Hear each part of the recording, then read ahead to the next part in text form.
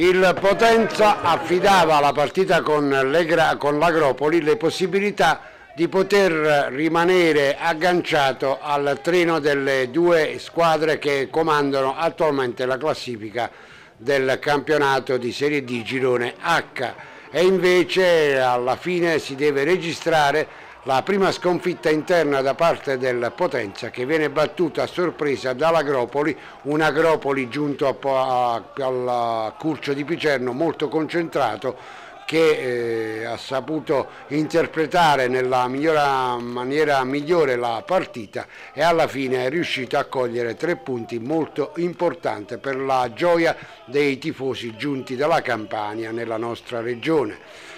Una grossa mano all'Agropoli l'ha data sicuramente il portiere del Potenza Sutalo che è stato l'autore involontario del eh, primo grosso infortunio che ha spalancato al vantaggio dell'Agropoli, le porte al vantaggio dell'Agropoli. Si era al 37 quando Guarino ha passato indietro il pallone al portiere Sutalo che ha indugiato quell'attimo fatale che è stato eh, importante per il centrocampista Diletta dell'Agropoli che è andato ad aggredire il portiere, a pressare il portiere, il, il tiro di rinvio del portiere ha sbattuto sul giocatore della formazione campana ed è terminato lentamente nella porta sguarnita per il vantaggio della formazione dell'Agropoli. Reazione da parte del Potenza che ha cercato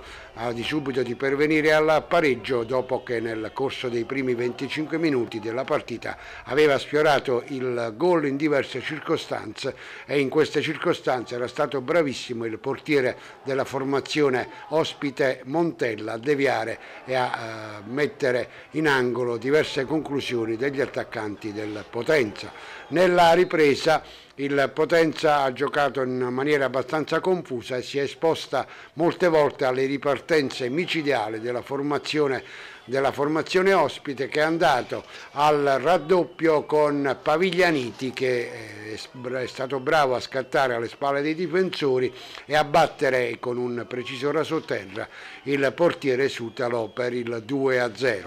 Partita che al 27 è stata riaperta per la concessione di un calcio di rigore abbastanza dubbio al Potenza ad opera della signora Garoffalo. Si è incaricato del tiro eh, Villa che ha spiazzato il portiere della formazione dell'Agropoli. Il calcio di rigore era stato concesso per un atterramento, per una manata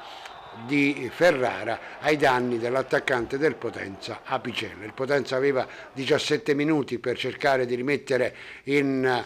eh, parità il risultato è andato vicinissimo solamente in un paio di circostanze, in una di queste Lucchese ha tirato da eh, buona posizione dal limite dell'aria ma il suo tiro ha sfiorato il palo alla sinistra del portiere ospite. Quindi clamorosa sconfitta del Potenza e clamoroso è stato anche l'epilogo, il dopo partita che si è registrato nello spogliatoio con uh, tante decisioni che sono state smentite e poi prese da parte della società e soprattutto con la riunione che si è svolta nel corso del dopo partita tra tutta la squadra e la dirigenza del Potenza in questa riunione abbastanza concitata i giocatori hanno esposto tutte le loro eh, lamentele per i, grandi, per i gravi problemi che stanno attanagliando il Potenza per la cattiva eh, gestione della società da parte del duo Vertolomo e Vangone.